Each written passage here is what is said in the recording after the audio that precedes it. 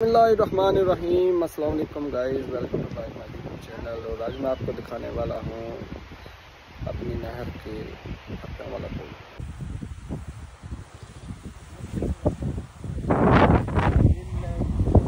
ये है भट्टे वाला पुल। तो इसके पीछे पाँच पुल हैं, ठीक है, इसके आगे। तो इसलिए कि ये पुल बनाया हुआ है उन्होंने कि अगर कोई बंदा इसमें गिर जाता है तो मर जाता है तो फिर इधर इधर से निकालते हैं। ठीक है?